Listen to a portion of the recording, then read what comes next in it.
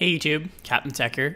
In today's video, I'll walk through some of the questions I got in my last video on how to add videos in Squarespace, specifically around how to autoplay videos.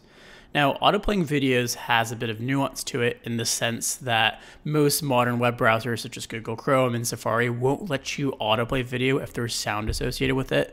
Oftentimes, users cite this as a bad experience and being intrusive. So, web browsers have sort of taken the lead and really prevent you from playing videos if it has sound associated with it. But if we have a way to mute the sound, um, the videos will actually autoplay um, within within these web browsers. And I'll walk you through how to exactly do that in this video because it's actually quite simple.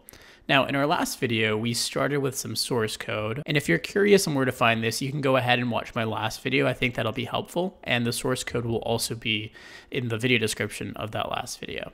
And in order to get our video to autoplay and be muted, what we'll do is actually go to our second line here. Um, and at the very end of it, we'll add autoplay and then space, and then we'll add muted. Uh, it's really as simple as that.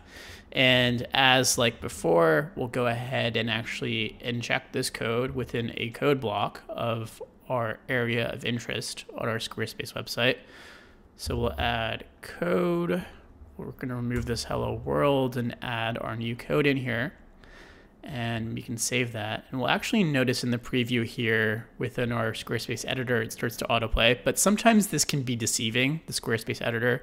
Really the best way to test this out is to actually open a web browser and navigate to our website. And I actually happen to have a link here. We'll go ahead and refresh it. And we'll notice now our video starts to autoplay here and it's by default muted.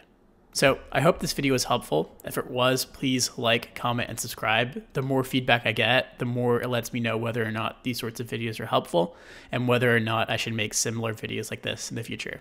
And with that, take care.